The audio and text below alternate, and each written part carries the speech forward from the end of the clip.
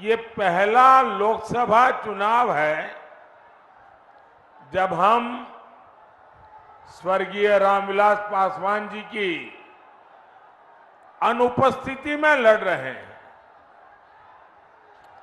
रामविलास जी सामाजिक न्याय के सच्चे साधक थे और हाजीपुर के प्रति उनका लगाव, हाजीपुर के प्रति उनका समर्पण, ये हमेशा हमेशा याद रहेगा। हाजीपुर के लिए, उनके सपनों को पूरा करने के लिए, हम सब संकल्पबद्ध हैं। साथियों, चार जून बहुत दूर नहीं है। चार जून को सुबह के इस समय। सबकी नज़र टीवी पर होगी,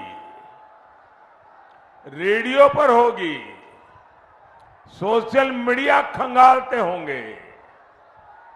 और आप जो आशीर्वाद दे रहे हैं वो चार जून को एक के बाद एक भाजपा एनडीए के विजय की ओर आगे बढ़ता जाएगा और चुनाव के परिणाम क्या कहेंगे? चुनाव के परिणाम क्या कहेंगे? फिर एक बार, फिर एक बार फिर एक बार एनडीए को दिया, आपका वोट केंद्र में मोदी की मज़बूत सरकार बनाएगा। आरजेडी, कांग्रेस या इंडिया अलायंस को तो अगर किसी ने गलती से भी बटन दबा दिया ना तो उसका वोट तो बेकार जाना जाना तय है। और बिहार के लोग तो समझदार है। वो बेकार जाने वाली चीज़ कभी करते ही नहीं है। और इसलिए अपना वोट सरकार बनाने के लिए दीजिए, देश बनाने के लिए दीजिए। आपके भविष्य के लिए, आपके बच्चों के उज्जवल भविष्य के लिए दीजिए। आपका वोट एनडीए को दीजिए। साथियों, बिहार के लोगों के सामर्थ्य और बिहार के लोगों की समझ समझदारी का मैं बहुत सम्मान करता हूँ। लेकिन मुझे ये देखकर दुख भी होता है कि सामाजिक न्याय के नाम पर लालटेन वालों ने बिहार में कितनी अंधेर गर्दी फैलाई। इन लोगों ने बिहार के लोगों को गरीब और अभाव में धकेल दिया। जंगल राज दिया। इन लोगों ने सबको बर्बाद किया और खुद अपने आलिशान महल खड़े कर दिए। क्या ऐसे लोग बिहार का कभी भी भला कर सकते हैं क्या? कर सकते हैं क्या? आरजेडी कांग्रेस में बिहार को आगे बढ़ाने की इच्छा शक्ति ही नहीं है। वे तो सोच रहे हैं, अभी जितना समय बचा है, खुद का जितना लूट सके, लूट ले। वो अपने बच्चों को सेट करने में लगे हैं, उनको आपके बच्चों की परवाह नहीं है। आप लोग यहाँ एक कहावत कहते हैं ना ना निमन गीतिया गाइब ना मड़वा में जाइब आरजेडी कांग्रेस का हाल यही है।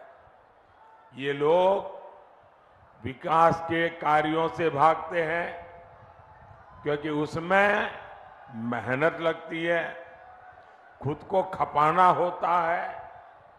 इन लोगों के नकारे पन्ने बिहार के कई अमूल्य दशक बर्बाद किए हैं।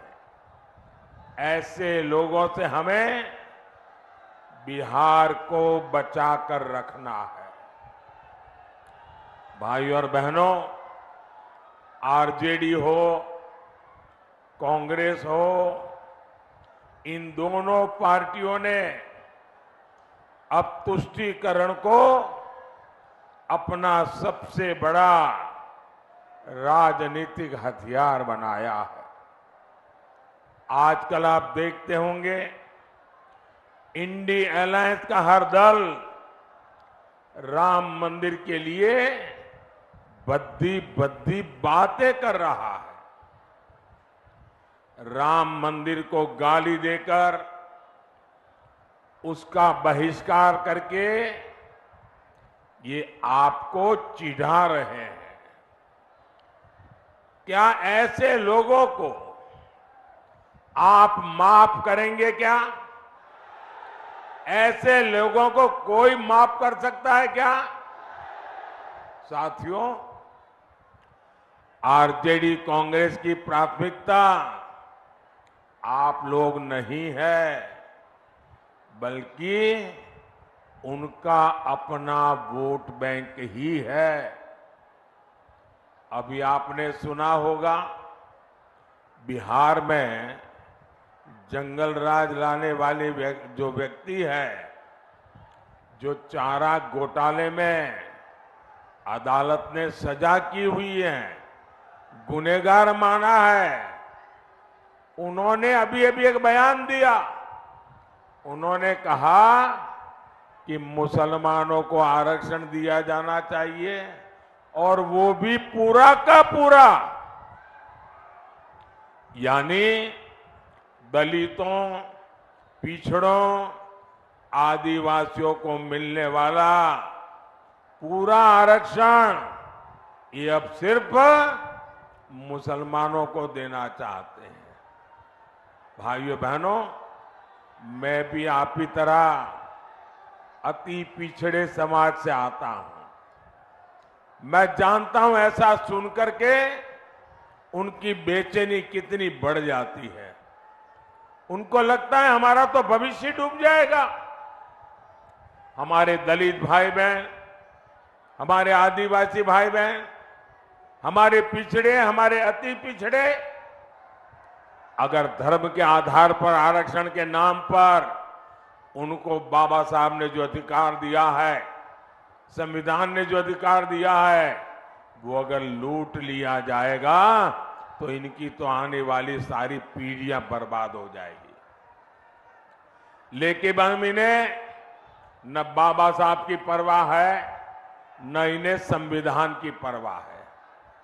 क्या बिहार का दलित हो, पिछड़ा हो, आदिवासी हो, ये हमारे समाज के लोग अपना हक आरजेडी कांग्रेस वालों को छीनने देंगे क्या? छीनने देंगे क्या? और मैं आपको गारंटी देता हूँ, जब तक मोदी ज़िंदा है।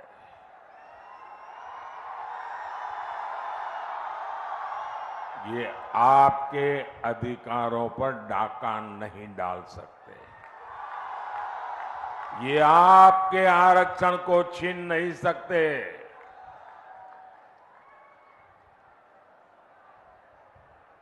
वो समझ लें वो वक्त चला गया कि आपने महिलाओं को मिलने वाले आरक्षण के कागज़ फाड़ दिए थे। आगे अगर ऐसी कोई कोशिश करेंगे तो लेने के देने पड़ जाएँगे।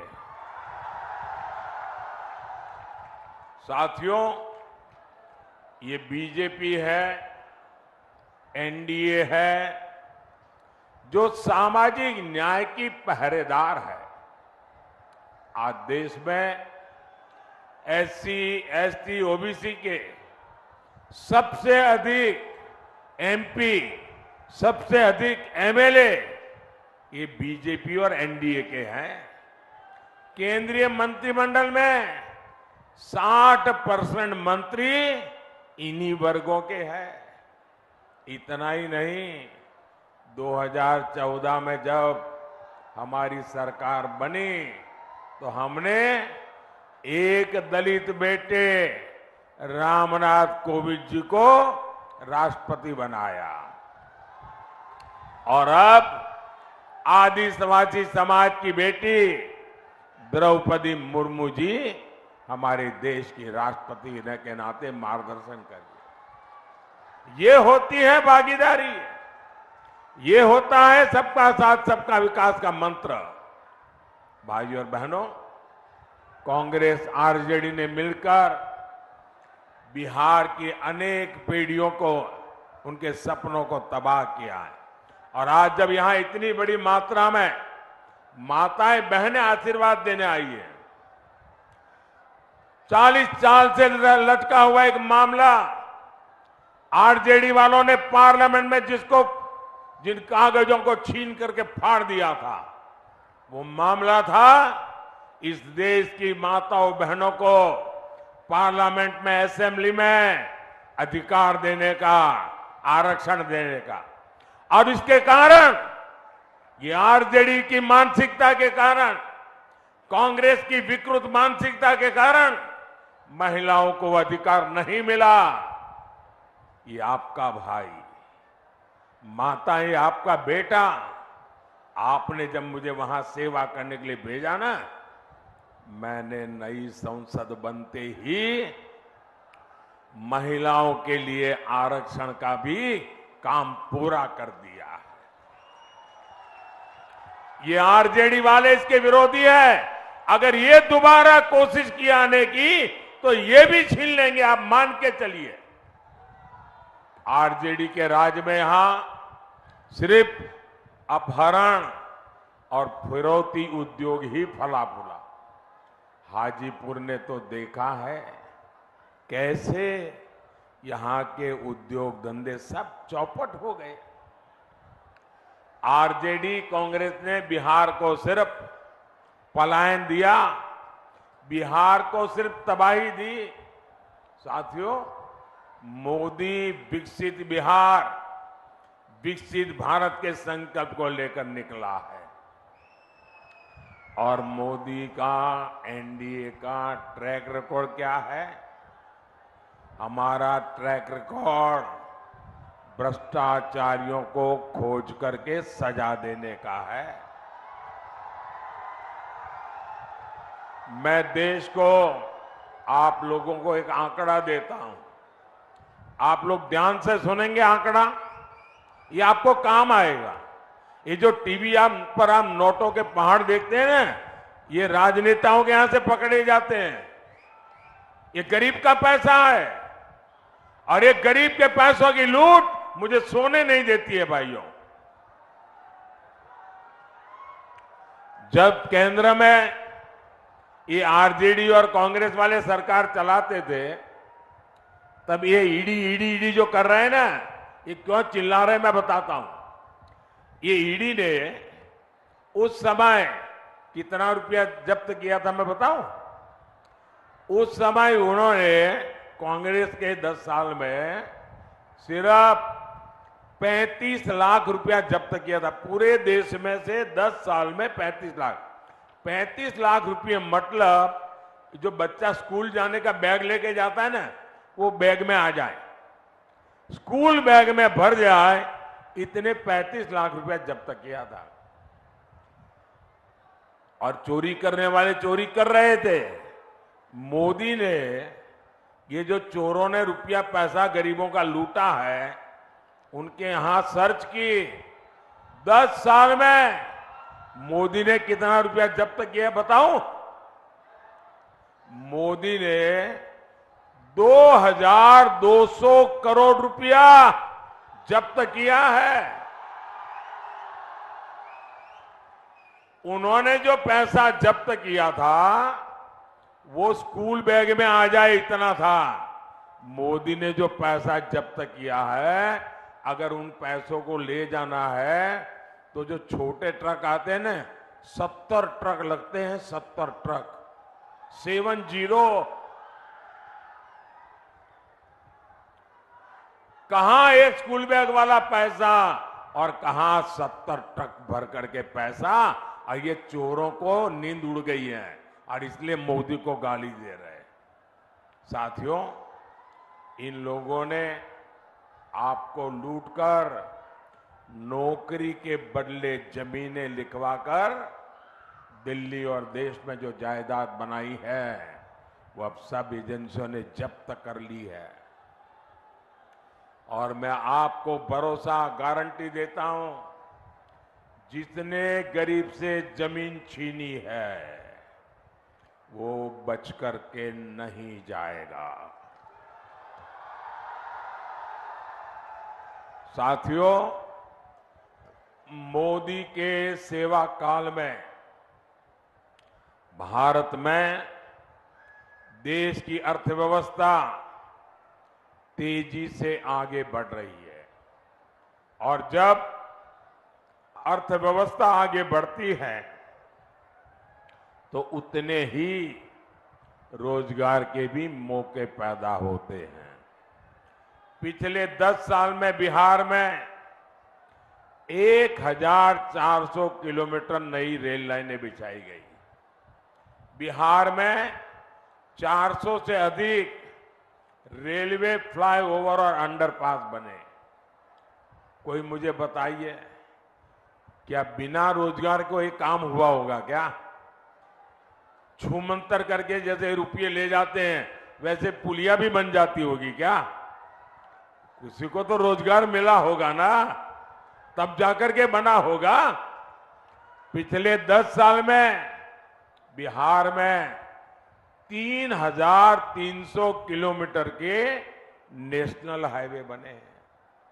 मुझे कोई बताए भाई, बुद्धिमान, तीन हज़ार तीन सौ किलोमीटर हाईवे क्या बिना रोज़गार दिए बन जाते हैं क्या? लगातार चौड़े हो रहे हाईवे हो, एक्सप्रेस हो, बिहार में खाद के कारखाने का काम हो थर्मल पावर प्लांट हो, गंगा नदी पर बन रहे अनेकों बड़े पुल हो, पटना में, मेट्रो में चल रहा कार्य हो नेचुरल गैस का नेटवर्क हो गाँव गाँव तक उज्ज्वला की गैस पहुँचाने का नेटवर्क हो, ये सब रोज़गार की गारंटी होते हैं, रोज़गार की गारंटी लेकिन जो अपने बाप दादा की कमाई खा करके जीते हैं, उनको रोज़गार क्या होता है, इसकी समझ तक नहीं है जी। अभी मोदी ने तय किया है कि बिहार के 90 से ज़्यादा रेलवे स्टेशनों को आधुनिक बनाया जाएगा। क्या ये बिना रोज़गार पैदा किया होगा क्या? पिछले 10 साल में मोदी ने देश के चार करोड़ पक्के घर बनाकर गरीबों को दिए हैं। अकेले बिहार में ही 40 लाख पक्के घर बनवाए गए इन घरों के लिए जो सीमेंट, सरिया आया है, ईंट, बालू आया है, वो भी मोहल्ले की दुकान से ही तो गया है। इन सबका लाभ बिहार के नौजवानों को ही तो हुआ है। उन्हें रोज़गार के व्यापार कारोबार के नए अवसर मिले हैं। साथियों, मोदी के वारिस। मोदी के वारिस कौन है? है आपके पास कोई नाम? कि भाई मोदी इसको देकर के जाएगा? कोई नाम नहीं है। क्यों? मोदी के वारिस आप हैं मोदी के वारिस आप है। मोदी के वारिस आपका परिवार है। मोदी के वारिस आपके बच्चे हैं। और मुझे वारिस में आपको सब कुछ दे करके जाना है। मुझे आपको सुख चैन की ज़िंदगी दे करके जाना है। मुझे आपको आपके बच्चों के उज्जवल भविष्य की गारंटी दे करके जाना है। मुझे आपको विकसित भारत आपके हाथ में सौंप करके जाना है। और इसलिए मैं हर कोशिश कर रहा हूँ कि युवाओं के हर सपने पूरे हो। वो हर काम कर सके, अपने सारे सपनों को सिद्ध कर सके। आपको जानकर खुशी होगी। सिर्फ़ मुद्रा योजना में बिहार में ढाई लाख करोड़ रुपए की मदद युवाओं को दी गई है। ढाई लाख करोड़। और वो भी मोदी की गारंटी पर। इन युवाओं से गारंटी नहीं मांगी। उनसे उनकी संपत्ति का हिसाब नहीं मांगा।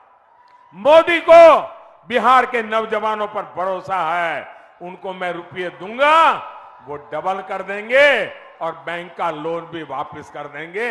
ये मेरा भरोसा है। ये तीन लाख करोड़ रुपए। यहाँ दलित अति पिछड़े पिछड़े युवाओं को मिले, महिलाओं को मिले इससे यहाँ लाखों काम शुरू हुए। यहाँ वैशाली सहित पूरे बिहार में टूरिज़्म आधारित रोज़गार की अद्भुत संभावना है। यहाँ बुद्ध सर्किट योजना के तहत काम चल रहा है। इससे भी क्षेत्र में रोज़गार के नए अवसर बनेंगे।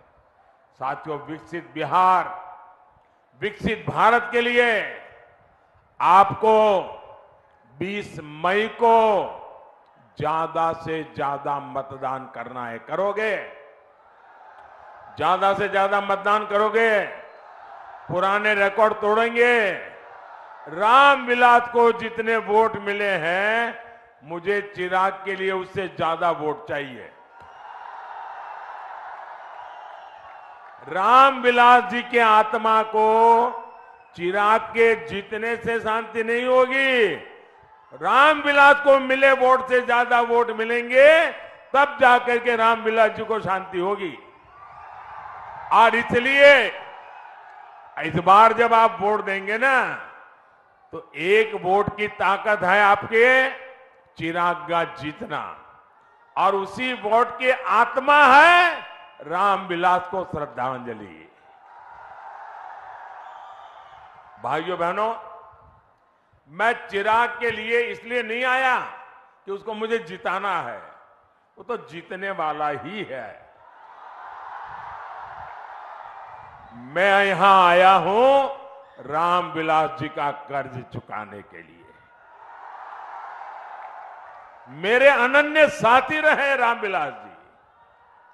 और इसलिए मैं सामने से यहाँ आया हूँ। मुझे मालूम है, यहाँ का परिणाम आप लोगों ने तय कर लिया है। चिराग के प्रति मेरा प्यार इसलिए है, मैं पब्लिकली आमतौर पर बोलता नहीं, लेकिन आज बोल देता हूँ। चिराग जब पहली बार पार्लियामेंट में आए तो मैं तो इतना ही जानता था रामविलास जी के बेटे हैं। लेकिन मैं देखता था उनके व्यवहार में राम बिलास जी के बेटे होने का गुरूर का नामो निशान नहीं था।